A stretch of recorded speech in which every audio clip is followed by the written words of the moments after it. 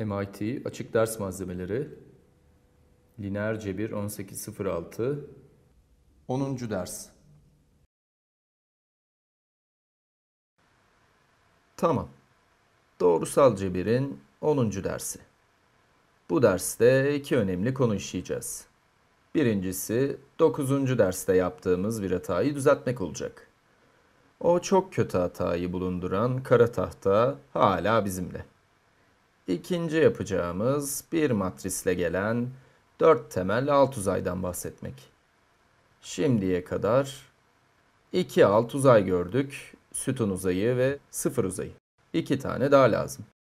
Her şeyden önce tam burası bir önceki derste yaptığımız hatayı düzeltmek için iyi bir yol.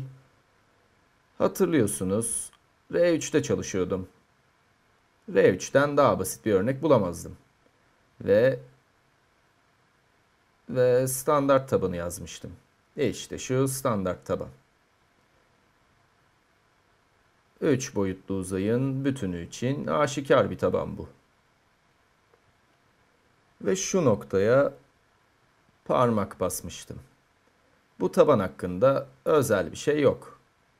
Diğerlerinde olmayan bir husus bu tabanda yok. Doğrusal bağımsızlığı olabilir.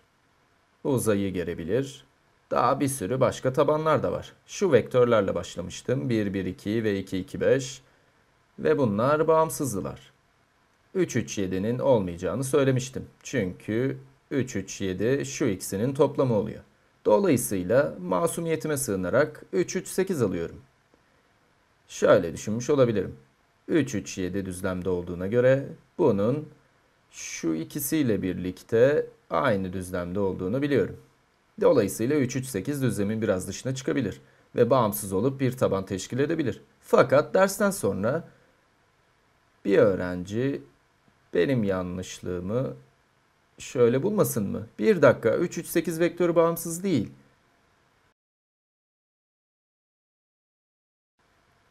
Neden bu kız böyle söyledi?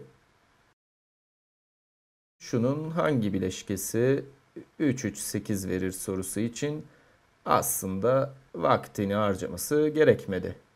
O başka bir şey yaptı.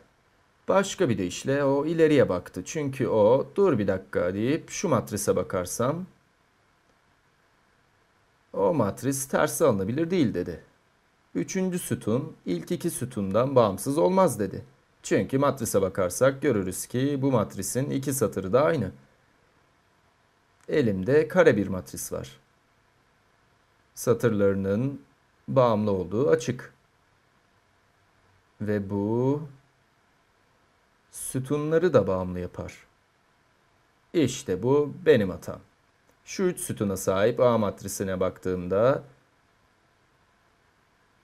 o üç sütun bağımsız olamazlar. Çünkü bu matrisin tersi olamaz. Çünkü iki tane eşdeğer satırı var. Bugünkü dersimizde büyük bir neticeye ulaşacağız. Sütun uzayını satır uzayına bağlayacağız. Satır uzayı benim yeni temel uzaylarımdan bir tanesi olacak.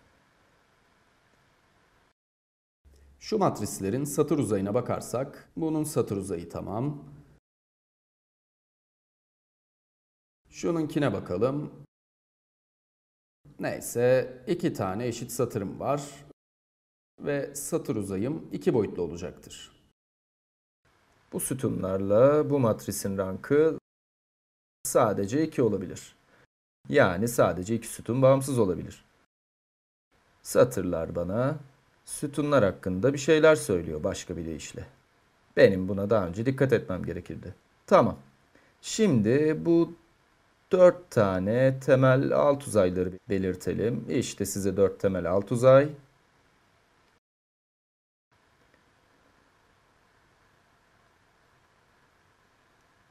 Bu dört alt uzayın birbirleriyle nasıl ilişkili olduklarını görmek doğrusal cebirin bu yaklaşımının kalbidir. O halde nedir bunlar? Sütun uzayı.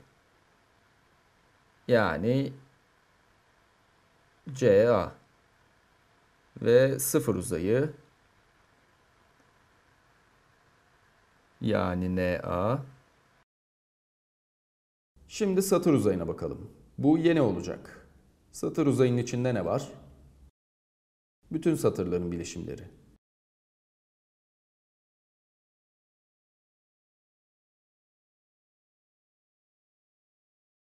Yani satırlar satır uzayını oluşturuyorlar.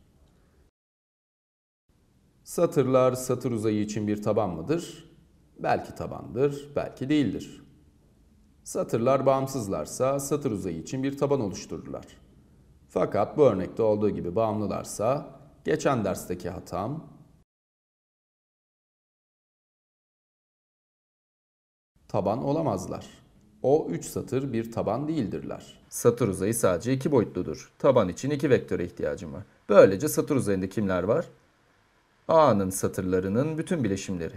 A'nın satırlarının bütün bileşimleri. Ben satır vektörleriyle çalışmayı sevmiyorum. Benim bütün vektörlerim sütun vektörleriydi.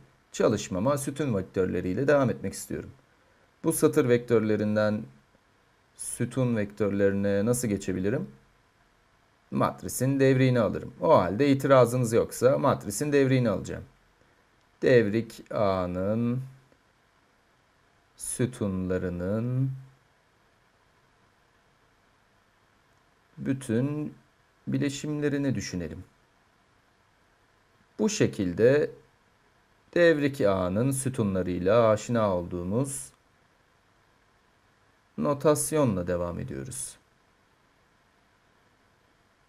Hiçbir şey. Hiçbir yeni matematik yok orada. Biz sadece yatay yatan vektörleri düşey olarak diktik. Fakat bu şekilde devrik ağının sütun uzayı bana A'nın satır uzayının güzel bir matris notasyonu ile ne olduğunu gösteriyor. Pekala.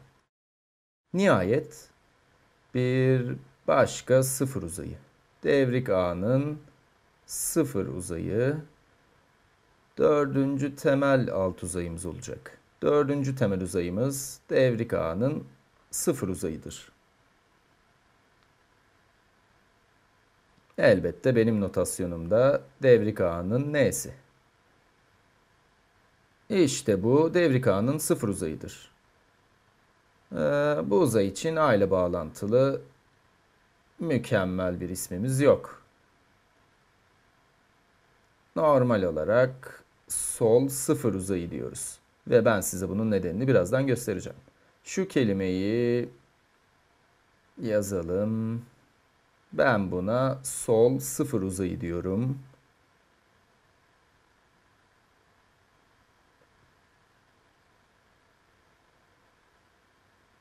Nasıl ki A'nın satır uzayını devrik A'nın sütun uzayı yaptık.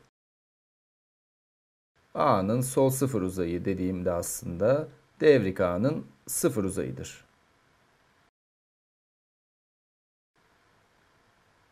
Tamam. İşte bunlar dört temel uzay. Nerede bu uzaylar? A matrisi MYN ise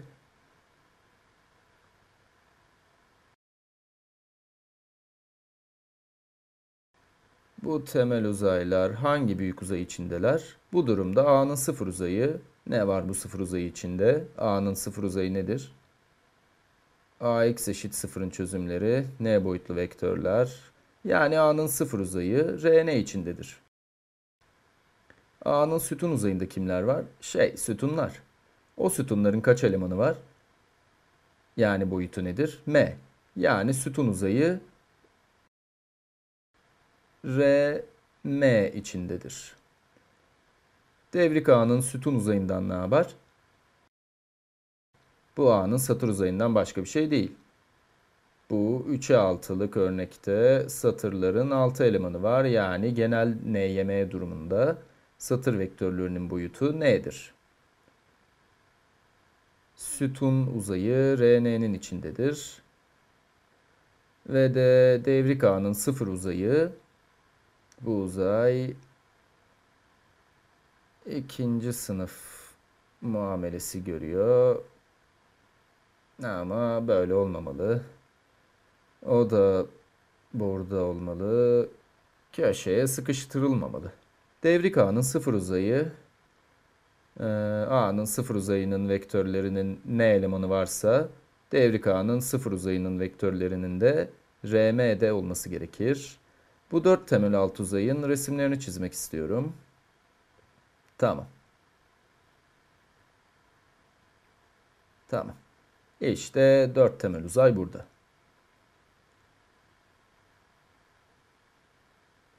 Tamam. N boyutlu uzayı şu tarafa koyayım. Bu dört temel uzaydan hangileri R'nin alt uzaylarıydı? Sıfır uzayı ve satır uzayı.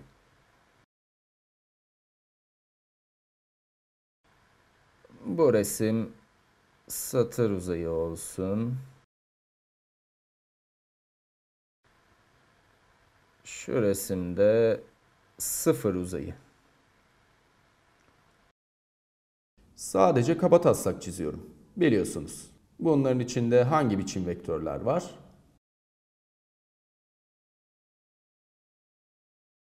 N elemanlı vektörler.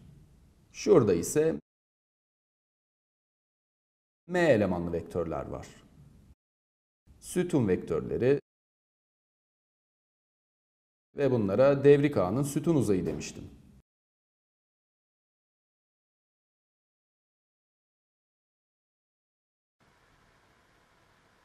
Bunlar M elemanlılar. Tamam. Şimdiki işimiz bu uzayı anlamak. Çünkü bu uzayları anlarsak doğrusal cebirin bu yarısını tamamen bilmiş oluruz. Bu uzayları anlamakla ne kastediyorum?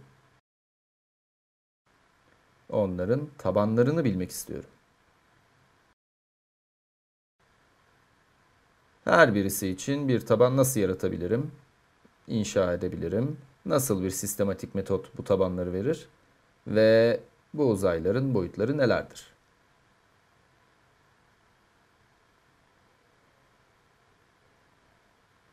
Tamam.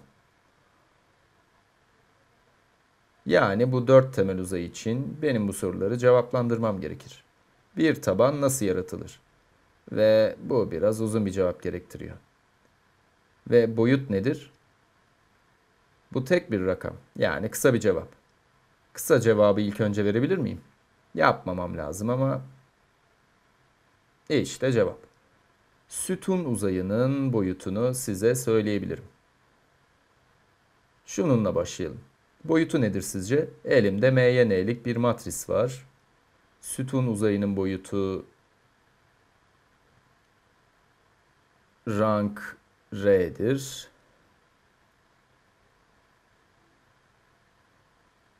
Bu neticeye bir önceki dersimizin sonunda erişmiştik. Ama sadece bir örnek üzerinde.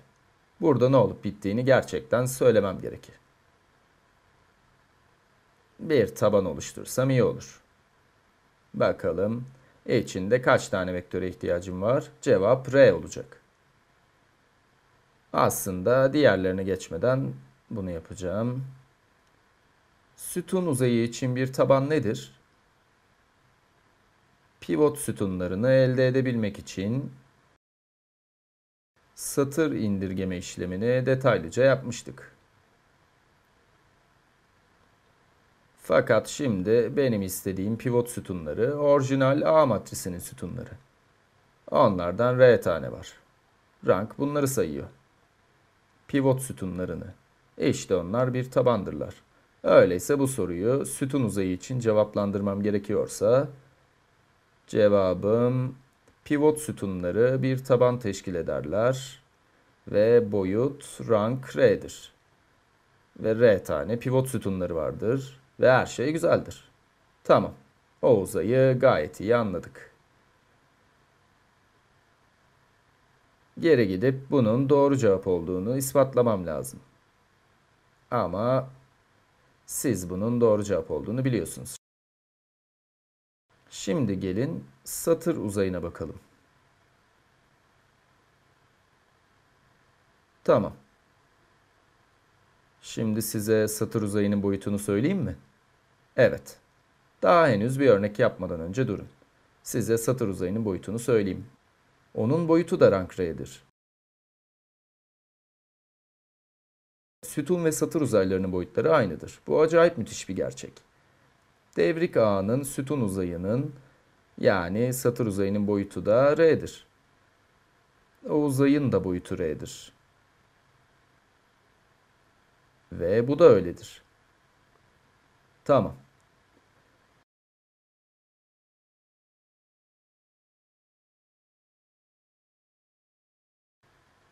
Bu örnekte buna benzer bir iç duygu kullandım. Bazı parantezleri silerek şu 3 sütunu bir matrisin sütunları olarak alayım. Tamam. Bu matrisin rankı yine de bana o kadar da açık değil. Fakat satırlara bakarsam her şey aşikar. Açık. Satır uzayı aşikar olarak iki boyutlu. Bu ve şu satırlar satır uzayı için bir taban teşkil ederler. Ve elbette kelimenin tam anlamıyla bu satırları devirmem ve onları dik yapmam beklenir. Fakat rank 2'dir. Ve dolayısıyla sütun uzayı da iki boyutludur. Çünkü şu şahane gerçeğe göre satır ve sütun uzayları aynı boyutludurlar. Dolayısıyla sadece iki pivot sütunu vardır. 3 değil. Ve o 3 sütun bağımlıdırlar. Pekala. Şimdi o hatayı gizleyelim ve satır uzayı hakkında konuşalım. Şimdi size bütün uzayların boyutlarını vereceğim. Çünkü bu çok güzel bir cevap. Tamam. Şuraya bakalım.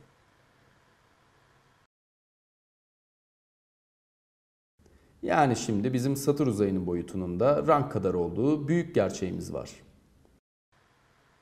Tamam. Sıfır uzayından ne haber? Sıfır uzayı için bir taban hangisi? Sıfır uzayının boyutu nedir? Sıfır uzayının boyutu cevabını şuraya yazacağım.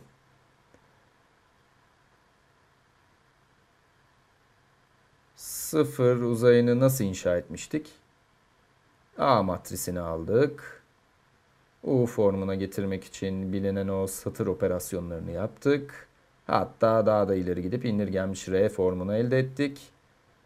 Ve ardından özel çözümleri okuduk. Özel çözümler ve serbest değişkenlerden çok özel çözümler geldiler. Ve o özel çözümler sıfır uzayındalar. Ve büyük gerçek şu ki onlar sıfır uzayı için bir taban oluşturuyorlar. Yani özel çözümler sıfır uzayı için bir taban oluştururlar. Ve her bir serbest değişken için bir tane özel çözüm vardır değil mi? Her bir serbest değişken için o değişkene 1 ve diğer serbest değişkenlere 0 değerlerini vererek bu özel çözümleri elde ediyoruz. Pivot değişkenlerini elde ediyoruz. Özel bir çözüm buluyoruz. 0 uzayında bir vektör. Yani biz n eksi r tane özel çözümler buluyoruz. Çünkü serbest değişkenlerin sayısı bu n eksi r kadardır. Eğer bu r pivot değişkenlerinin sayısıysa n eksi r de serbest değişkenlerin sayısıdır. Güzel olan şu ki özel çözümler sıfır uzayı için bir taban teşkil ederler. Ve bu bize sıfır uzayının boyutunun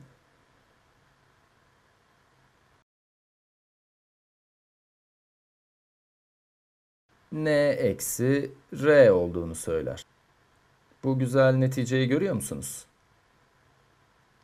Bu n boyutlu uzayda iki tane boyut var. Birisi r boyutlu. ispatlayacağımız gibi bu satır uzayı. Diğer uzay ise n eksi r boyutlu. Bu da sıfır uzayı. Ve bu iki boyut beraberce n veriyorlar. r ve n eksi r'nin toplamı n'yi verir. Ve bu şahane.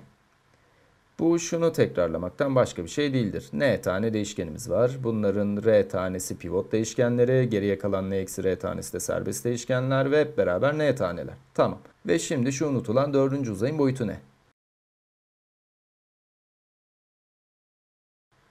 Elbette M eksi R olmak zorunda. Pratik sebeplerden Bir tarafta bırakılan şu sol sıfır uzayının boyutu m eksi r'dir. Aslında bu sol sıfır uzayının boyutu artı rank eşittir m demekten başka bir şey değildir. Ve bu m doğru rakamdır. Çünkü m devrik ağının sütun sayısıdır. Devrik ağ da A gibi iyi bir matristir. Bir farkla sadece boyutu n'ye m'dir. Devrik ağının m tane sütunu var. Devrik ax eşit 0 denklemine gittiğimde m tane değişkeni olacak. Bunlardan r tanesi pivot değişkenleri olacağından m eksi r tane serbest değişken kalacak. Yani devrik A'da A gibi iyi bir matristir. Dolayısıyla A'nın uyduğu kurallara aynen uyacaktır. Yani bunun boyutu artı şunun boyutu sütun sayısına eşit olmalıdır. Ve şurada devrik A'nın M sütunu var. Tamam. Pekala. Bu şekilde ben size boyutlar için kolay cevabı verdim. Şimdi geri gidip tabanlar üzerinde bunu inceleyebilir miyim? Satır uzayını düşünelim. Nasılsa sütun uzayı için bir tabanımız var. Pivot sütunları sütun uzayı için taban teşkil ederler. Şimdi sizden satır uzayına bakmanızı istiyorum. Evet, şunu diyebilirsiniz. Satır uzayına bir taban elde etmek için bu sütunların teşkil ettiği matris ağının devrini alırım. Sonra yok etme metoduyla satır indirgemelerini yaparım. Sonra da devrik matristeki pivot sütunlarına bakarım. Fakat bu devrik ağ üzerinde bir sürü satır indirim yapmak demektir. Yapılabilir. Şu matrisi alırsak 1 1 1 2 1 2 3 2 3 1 1 1 Tamam.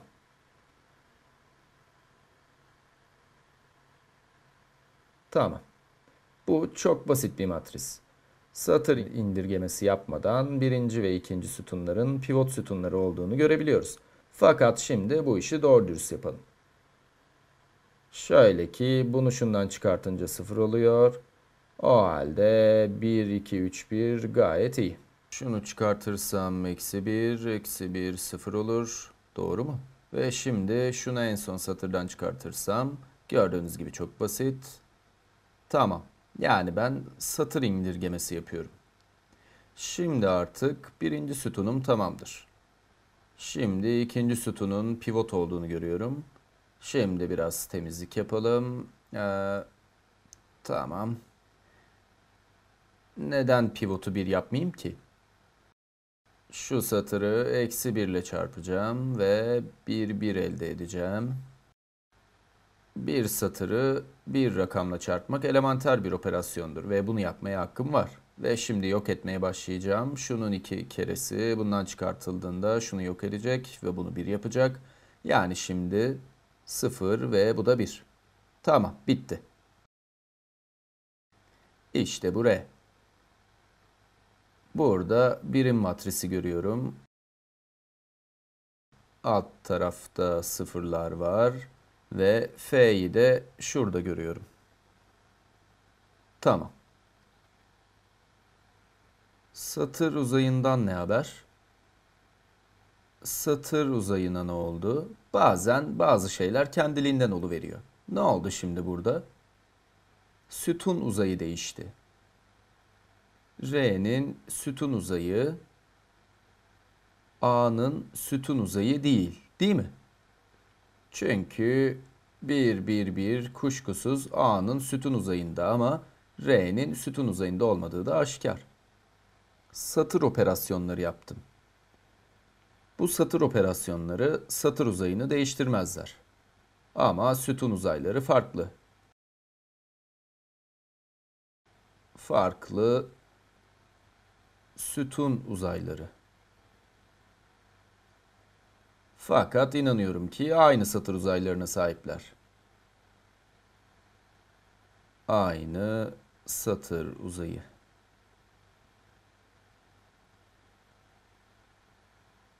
Şu matrisin ve bu matrisin satır uzaylarının aynı olduğuna inanıyorum. İçlerinde tamamen aynı vektörler var. Şu vektörlerin dört bileşeni var değil mi? Onlar şu satırların bütün bileşimleri.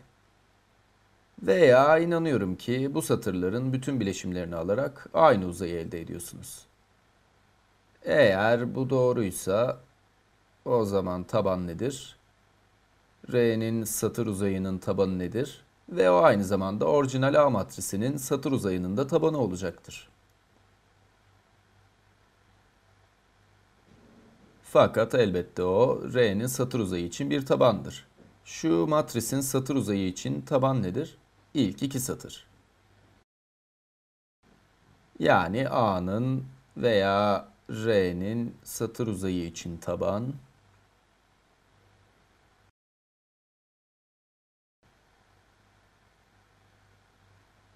R'nin ilk R satırıdır.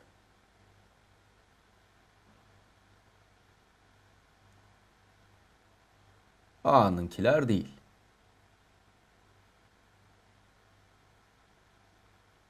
Fakat R elimizde satır uzayını kesinlikle tespit edebildiğimiz bir matris var. Satır uzayı 3 satır vektörle geriliyor. Ama bir taban istiyorsak bağımsızlık gerekir. Öyleyse 3. satırın gitmesi lazım. Bu satır uzayı bu ilk iki satır tarafından gerilirler. Bu adamın hiçbir katkısı olmadı. Ve tabii ki bu en alttaki burada ki 1, 2, 3 birinde hiçbir katkısı olmadı. O zaten vardı. Dolayısıyla işte taban bu. 1, 0, 1, 1 ve 0, 1, 1, 0. Bunların satır uzayında olduklarına inanıyorum. Onların bağımsız olduklarını biliyorum. Onlar neden satır uzayındalar? Şu iki vektör neden satır uzayında? Çünkü yaptığımız bütün bu operasyonlar, örneğin şu vektörlerin bileşimleri, bu satır eksi şu satır bize yine de satır uzayında vektörler verir. Esas nokta şu. Bir satırdan başka bir satırın bir katını çıkarttığımda ben hala satır uzayında kalıyorum. Satır uzayı değişmiyor. Küçük tabanım değişiyor ve sonunda en iyi bir taban elde ediyorum. Eğer birim matrisin sütunları R3 veya Rn için en iyi taban oluyorsa bu matrisin satırları da satır uzayı için en iyi bir taban olurlar. Daha açık yapmayacağım manasında en iyi taban diyorum. Birim matrisle başlıyorum ve orada ne olması gerekiyorsa oraya kadar gidiyorum. Tamam. O zaman siz boyutun R olduğunu görüyor musunuz? Kesinlikle. Çünkü R tane pivotumuz var. R tane sıfır olmayan satırımız. Bunlar satır uzayındalar, bağımsızlar. Hepsi bu. Onlar bu satır uzayı için taban oluştururlar. Ve bunu daha da ileri götürebiliriz. A'nın her satırının bir bileşim olduğunu nasıl biliyorum? Satır uzayını gerdiklerini nereden biliyorum?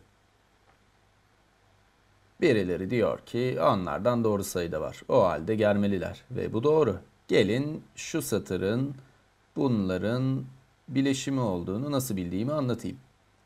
Bunu satır indirgeme metodunun adımlarını tersine çevirerek yapabilirim. Adımlarımı ters atarak R'den A'ya geri gideceğim. Ve ne yapıyor olacağım? Şu satırlarla başlıyor ve onların bileşimlerini alıyorum. Birkaç adımdan sonra bu önceden yaptığım çıkartmaların tersini yaparak şu iki satıra erişiyorum. O halde bu satırlar şu satırların bileşimidirler. Şu satırlar şu satırların bileşimidirler. Her ikisinin de satır uzayları aynıdır. Tabanlar aynı. Ve şunlar normal taban. Satır uzayı için birlerin hepsi doğru. R'nin içinde olabileceği en temiz haliyle satır uzayı oturmaktadır. Tamam. Şimdi dördüncü devrik A'nın sıfır uzayından ne haber? Her şeyden önce ben bu uzaya neden sol sıfır uzayı diyorum?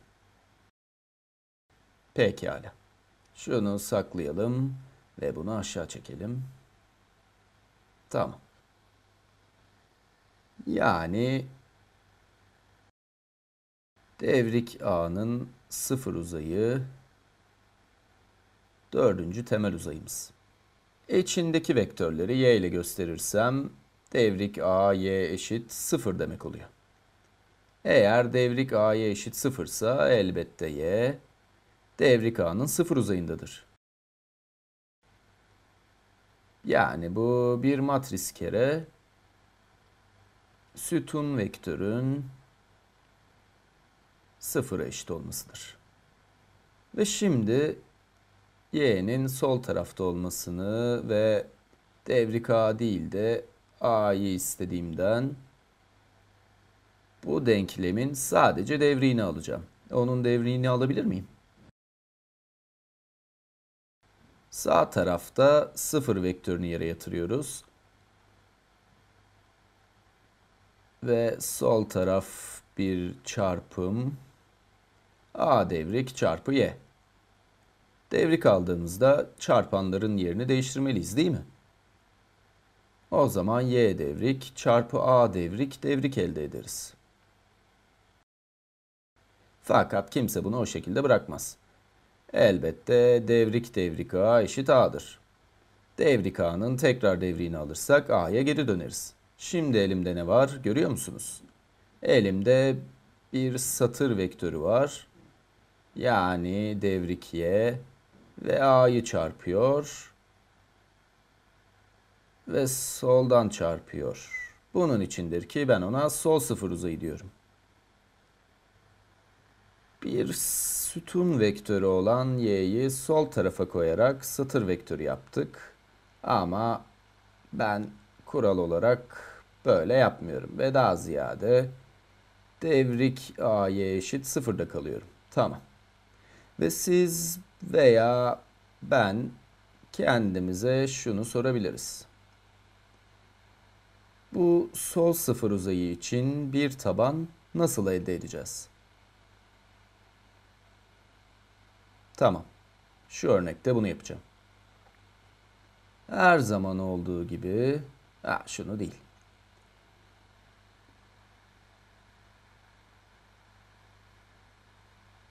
Sol sıfır uzayı burada bana hemen gözükmüyor. Serbest değişkenlerin hangileri olduğunu biliyorum. Özel çözümler fakat onlar a eşit sıfırın çözümleri. Ve ben şimdi devrik a'ya bakıyorum. Ve ben burada bunu hemen göremiyorum. Ama siz bir şekilde a'yı r'ye indirgerken yaptığınız çalışmanın sol sıfır uzayında ele vereceğini hissetmiş olmalısınız. Hemen belli değil. Ama o da orada aslında. A'dan R'ye giderken attığım adımlara eğilirsem neydi onlar topluca? Tek tek adımlarla ilgilenmiyorum ben.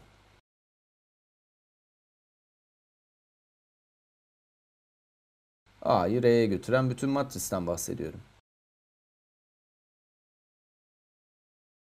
Onu nasıl bulabilirsiniz? Birim matrisi yan tarafa koyduğumuz Gauss-Jordan metodunu hatırlıyor musunuz? Gelin onu tekrar yapalım. Şurada yukarıda yapalım. Ana fikir işte şu.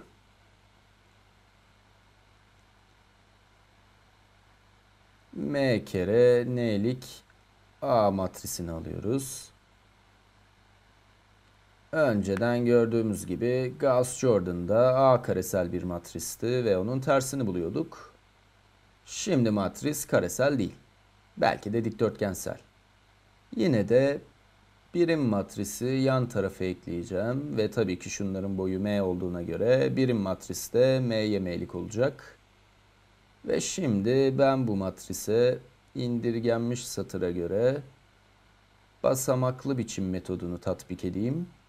Ve ne elde ediyorum?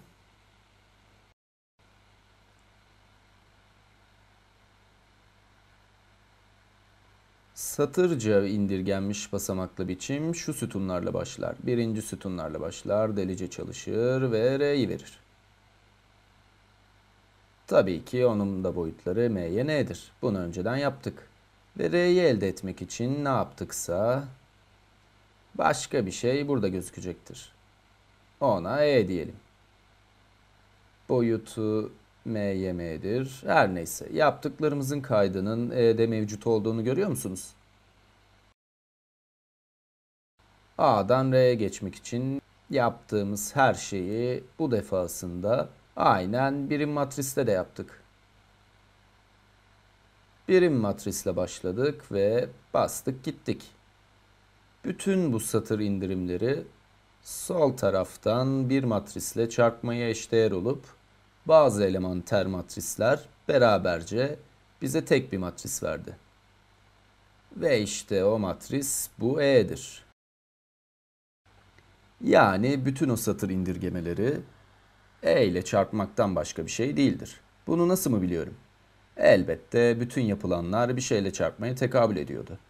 Ve bir şey I'yı E'ye götürdü. Yani o şey E'ydi. Şimdi ilk kısma bakarsak E, A eşit R'dir. Bu büyük bir şey değil. Benim söylediğim şu. Hepimizin bildiği A'yı R'ye götüren satır indirgeme adımları bir matris oluşturur. Ve ben bu matrisi sağ tarafa bir birim matris ekleyerek ortaya çıkartabilirim. Ortaya çıkan E'dir. Gelin şimdi tersi alınabilir kare matris durumuna bakalım. Bu durumda ne oluyor? Çünkü bölüm 2'de de ben bu konuyla ilgilenmiştim. A kare ve tersi alınabilir bir matris olduğu zaman A, I'yi aldım. Satır yok etmeleri yaptım. Ve ortaya çıkan R neydi? Birim matris I idi. Yani bölüm 2'de R birim matris I idi. Tersi alınabilir bir matrisin satırca indirgenmiş şekli birim matristir. Bu durumda R birim matrisi olduğundan E de A'nın tersi olacaktır. Çünkü EA birim matris I'ye eşittir. Güzel. Bu iyi ve basitti. Şimdi söylediğim şu. Hala elimizde bir E var ama artık bu A'nın tersi değil. Çünkü A bir kare matris değil, sadece dikdörtgensel bir matris. Tersi olamaz. Fakat yine de bunu şuna bağlayan bir E matrisi var. Onun ne olduğunu önceden akıl edebilmeliydim. Kahretsin. Düşünemedim. O adımları attım ama ardından da sildim. Ve birim matrise de aynısını yapsaydım keşke yapabilir miyim? Yapabilir miyim? Birim matrisi elimde tutacağım ve aynı operasyonları ona yapacağım. Bakalım en sonunda elime ne geçecek. Tamam. Birim matrisle başlıyorum. Açık renkte yazacağım. Fakat tamam. Ben ne yaptım?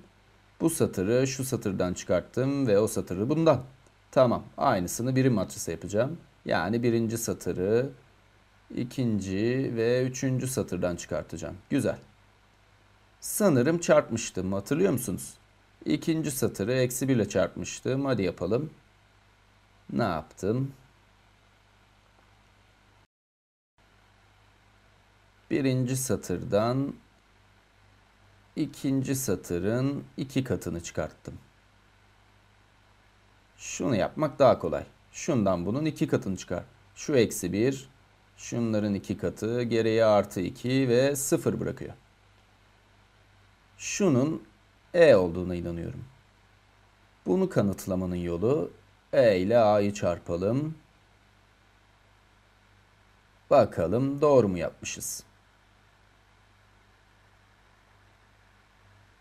E'nin şu olduğuna inanıyorum. Eksi 1, 2, 0, 1, eksi 1, 0 ve eksi 1, 0, 1.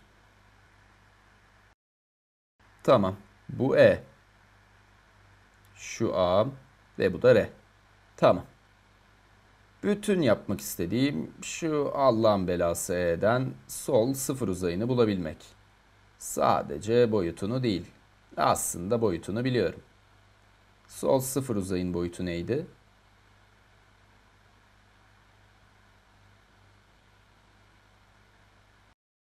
Tamam, işte benim matrisim. Bu matrisin rankı nedir? 2.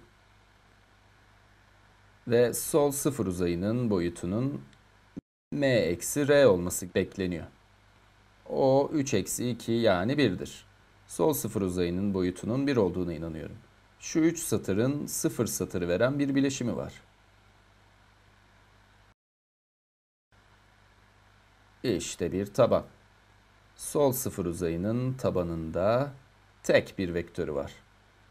Ve bu vektör nedir? İşte burada E'nin en son satırıdır. Fakat biz bunu daha önce de görebilirdik. Şu satırların hangi bileşimi sıfır satırını verir? Eksi bir kere bu artı bir tane şu. Yani sol sıfır uzayının bir tabanı. Eğer sol sıfır uzayının tabanını arıyorsam satırların bileşimlerinin sıfır satır vermesine bakıyorum demektir. Sıfır uzayı için sütunların bileşiminin sıfır sütun vermesine bakıyorum. Şimdi ise şu üç satırın sıfır vermesine bakıyorum. Ve elbette işte benim sıfır satırım. Ve işte onu veren vektörüm de bu. Eksi bir kere şu satır ve bir kere bu satır. Apaçık. Tamam. Şu örnekte aslında bütün örneklerde sol sıfır uzayı için nasıl bir taban elde edilir görmüş oluyoruz. Bunu size her zaman sormayacağım. Bu R'den hemen gözükmedi. O sol sıfır uzayı için E'yi takip etmemiz gerekti.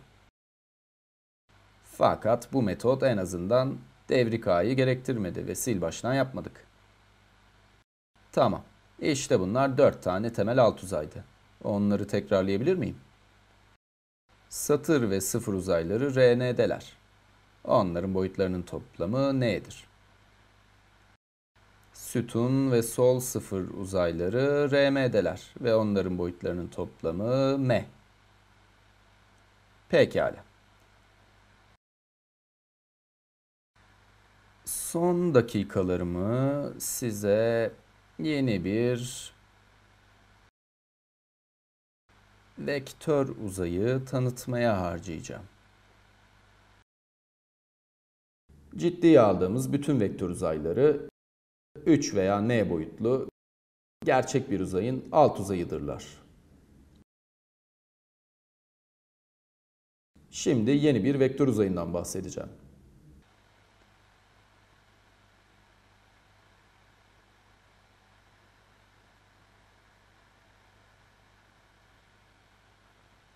Bütün 3'e 3'lük matrisleri ele alalım.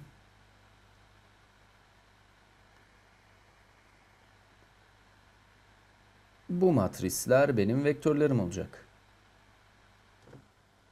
Onları bu şekilde isimlendiriyorum. İstiyorsanız vektör kelimesini tırnak içine alabilirsiniz.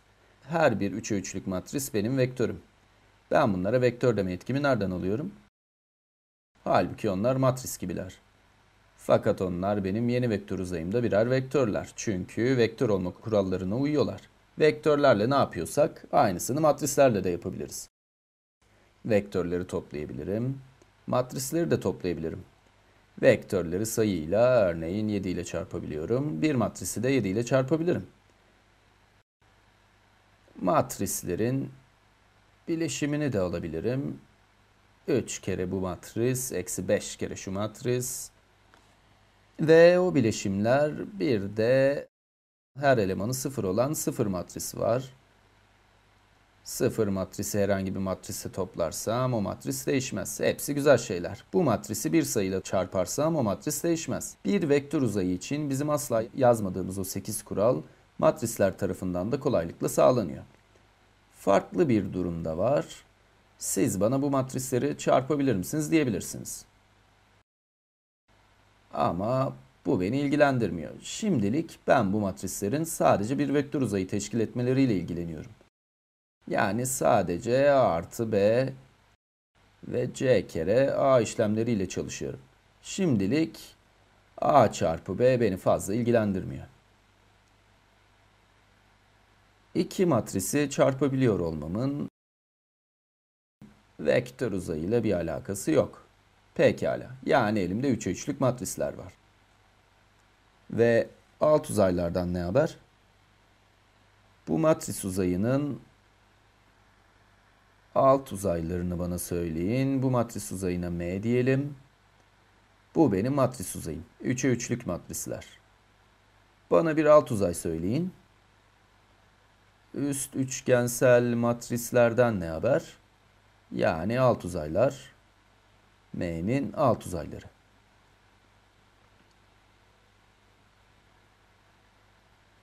Bütün üst üçgensel matrisler M'nin bir alt uzayını teşkil ederler. Bir başka alt uzay. Bütün simetrik matrisler.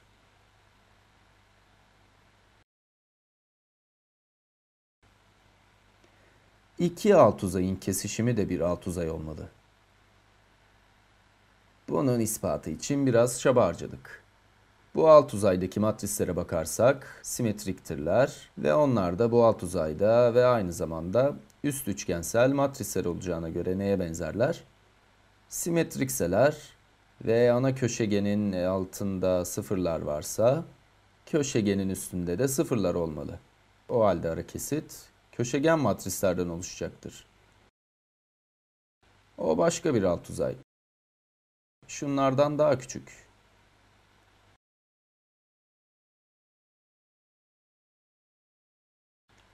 Ben nasıl daha küçük diyebilirim? Şey, bunlar şunların içinde olduklarından daha küçük kelimesini kullanma iznim var. Bunlar şunların içindeler. Fakat daha da kesin olarak bu uzayların boyutlarını verebilirim. Hadi gelin 3'e 3'lük bütün üst üçgensel matrislerin uzayının boyutunu hesaplayalım. 3'e 3'lük simetrik matrislerin boyutu, 3'e 3'lük köşegen matrislerin uzayının boyutu. Boyut bulmak için önce bir taban teşkil ediyorum. Ve daha sonra bu tabandaki eleman sayısını buluyorum. Köşegen matrisler uzayının boyutunu vereyim. Şimdi bunu D ile göstereceğim.